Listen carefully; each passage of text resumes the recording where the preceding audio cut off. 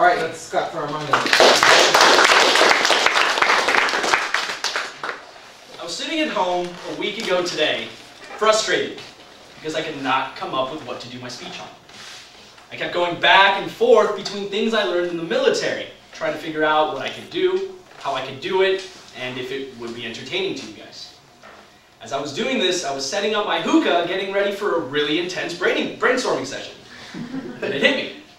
My topic was literally in my hands.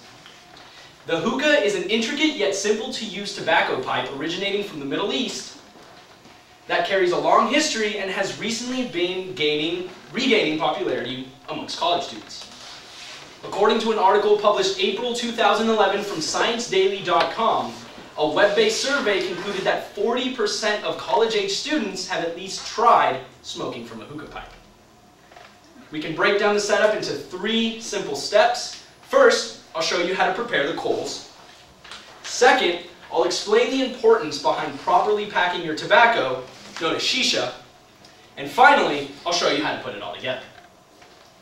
To begin, we'll start with the step that takes the longest. Prepping coals is the easiest thing to do, but it's the lengthiest process. The two main types of coals you'll find are natural coals and Instalight coals. Natural coals are my favorite because they're cleaner, burn longer, and they don't give your shisha sort of a charcoal flavor. The other kind of coal is the Instalight or self-igniting coals that use a chemical-based accelerant to speed up the lighting process. They're going to be a lot faster, but they also have some downsides. You can prep your coals with just about any heat source and you'll know they're done when they look bright red, sort of like charcoal from a grill. I like using a stovetop or a hot plate to heat my coals. It's safest and easiest, and I'd recommend it over using a lighter or a torch. Basically, you just set it on the stovetop, flip it with your tongs after about three minutes on each side, that's all it takes. The other thing you can use is a lighter or a torch, but I wouldn't recommend it because of the proximity of the flame to you and having to continuously watch it. it makes it a lot more dangerous and less efficient. As your coals are cooking, you can move on to the next step. The most important part of the hookah, the shisha. Like any other consumer product in America, there are hundreds of brands and flavors to choose from. Flavors come in a crazy variety with names like apple, blueberry, chocolate mint, to names like Purple Savior, Code Blue, and one called Queen of Sex. Different brands also promise better, thicker, whiter, milkier smoke. I have two brands here, Starbuzz and Fumari, but I just find it easier to use something you like. My personal favorite is Starbuzz brand Blueberry. The way you pack your shisha is going to make or break your hookah experience. I had to learn this the hard way, and I always keep napkins nearby because shisha can get very messy. You always want to take your shisha out of the packaging. It's going to be very juicy, I guess is the term I could use, because it's soaked in molasses and sometimes honey to increase the sweetness. You always want to take your bowl and sprinkle the shisha into it, never pack it in. I had to learn that the hard way. The reason you sprinkle it in versus pack it in is because it restricts the airflow. The first time I ever packed a bowl of shisha, I packed it in so tight that I couldn't actually get any air suction, and when I tried to smoke it, nothing happened. to avoid that embarrassment, like I said, sprinkle the shisha in.